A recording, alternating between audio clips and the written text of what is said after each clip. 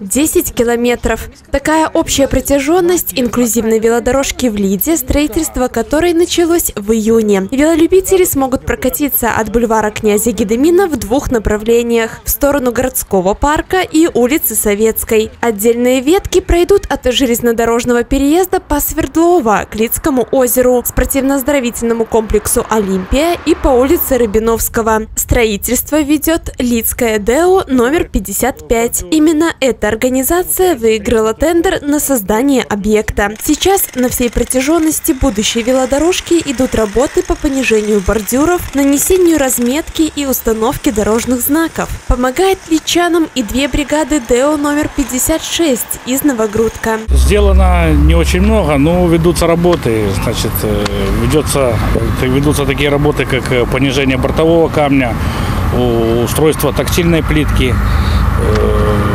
обустройство сети дорожными знаками. Эти виды работ входят в первый этап. Там есть э, второй этап и третий этап. Во втором и третьем этапе там новое строительство еще дорожки. То бишь сеть будет развиваться.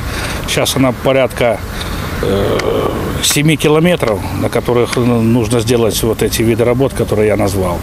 А дальше будет сеть развиваться. И будет новое строительство.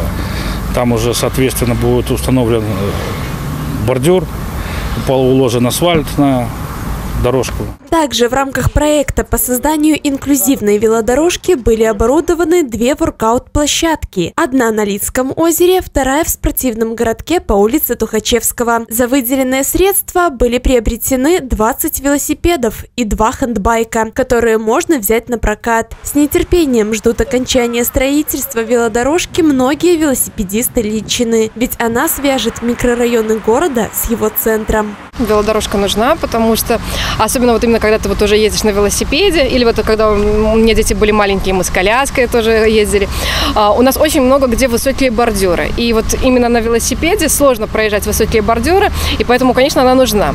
А мы как-то гостили у нашей подруги э, крестной э, мальчишек в Голландии, и там очень хорошо развито э, велотранспорт, ну, вообще велодвижение и велодорожки. И это, ну, такое удовольствие, когда тебе не надо спешиваться на огромных бордюрах, когда ты можешь ехать, действительно ехать в удовольствие. И было бы очень здорово, чтобы ну, были классные у нас велодорожки в Лиде, потому что это действительно, то есть для людей тогда, город для людей. Строительство инклюзивной велодорожки продолжается, но личане уже могут оценить комфортные съезды на пешеходные переходы на нескольких перекрестках города и воспользоваться новым велооборудованием.